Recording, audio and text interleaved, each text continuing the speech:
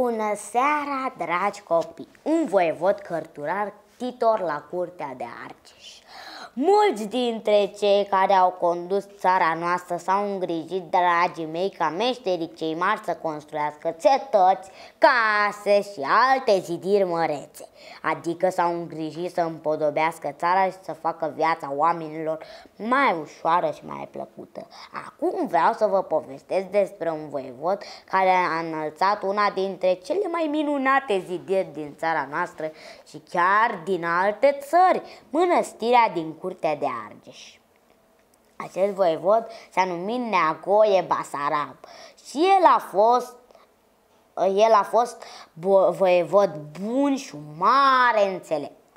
Povestea spune că mănăstirea Curtea de Argeș a zidit-o meșterul Manole și cu prietenii săi cei nouă meșteri mari, calfe și zidați voievodul a dorit ca această zidire să nu aibă pereche în lume, adică să nu o întreacă niciuna măreție, bogăție și frumusețe. Fiind foarte, foarte talentați, meșterii s-au străduit să ne răsputeți au împlinit dorința. Au înălțat-o din cărămidă și piatră albă minunat sculptată, sculptată cu figuri și flori, ca o broderie.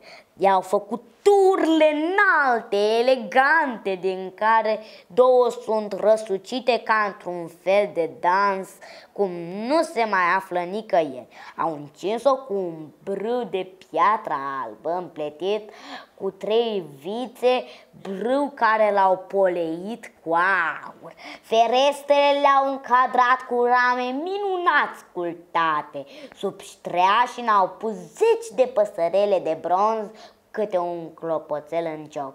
Iar când adie vântul, acei clopoței sună dulce, că parcă păsărele ar fi vii și ar ciripi.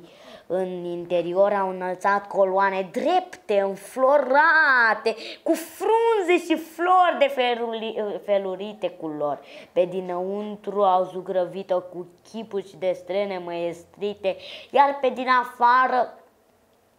Multe părți le-au poleit cu aur. Văzând-o, lumea se minuna de atâta bogăție și strălucire, că într-adevăr strălucea atât de tare încât, cum se zice în povești, la soare te puteai uita, dar la această zidire, ba, dar ca să o poată termina, se spune că Neagoie Basarab și-a cheltuit toți banii, iar soția sa, doamna Despina, ar trebui să-și vândă juva, juvaie carcele, calele, juvaie calele juvelcarele, adică salbele, inelele, cercei, brățările pe care le purta ca doamna țării. Vedeți voi, copiii mei, cum acest voievod Neagoie Basarab și doamna Despina au făcut tot ce au putut ca să înfrumusețeze țara.